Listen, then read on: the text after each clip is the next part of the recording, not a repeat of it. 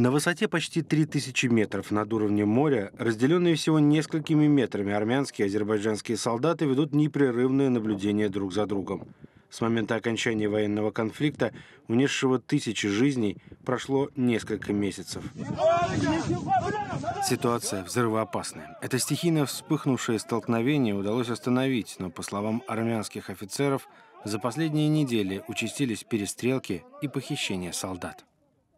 До прекращения огня осенью прошлого года граница на практике была не более чем линией на карте. Армения контролировала территории по обе стороны официальной границы и часть буферной зоны вокруг Нагорного Карабаха. В настоящий момент основная проблема в том, что у противников разные представления о том, где должны находиться их новые пограничные посты. Ереван обвиняет Азербайджан в самовольном перемещении его позиций вглубь армянской территории.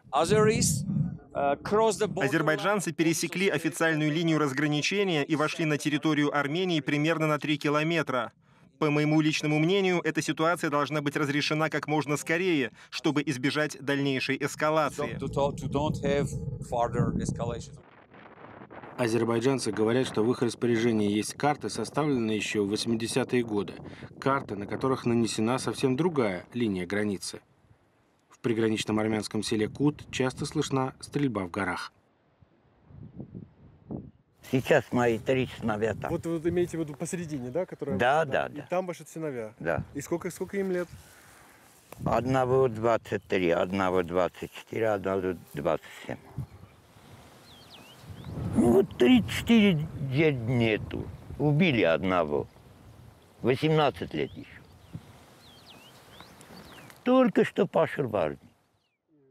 Андроник рассказывает, что его соседи боятся выводить скот на горные пастбища после того, как азербайджанские военные обстреляли пастухов, и те потеряли коров. Трагедия для жителей деревни, живущих лишь за счет собственного хозяйства. Сейчас они, если придут, нас топтают.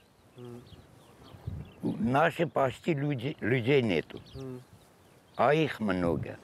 Я никуда не поеду. Уже три раза в жизни.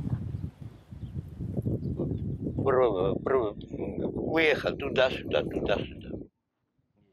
Как и большинство жителей этой армянской деревни, Андроник родился в Азербайджане. Был беженцем во время первого конфликта между бывшими советскими республиками в конце 80-х. Война, по его словам, никогда не заканчивалась, а лишь приостанавливалась. Иногда затишье длилось годами, иногда лишь несколько часов.